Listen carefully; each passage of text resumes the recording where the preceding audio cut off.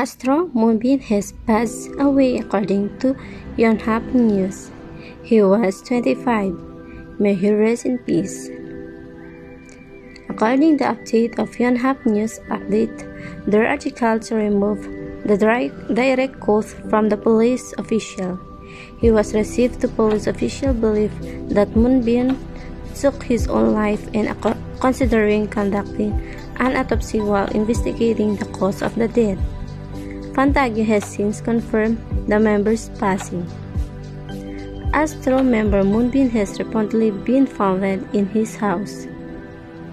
According to the exclusive report from the Yonhap News TV, Moonbin was found dead in his home in the Gangnam district of Seoul at around 8:10 p.m. April 19 KST. The manager immediately contacted the police. A police official commented on Yonhap, "We believe that Moonbin died by suicide. We are considering an autopsy to investigate the exact cause of the death." Fantagio Moonbin agency has not yet commented on the report.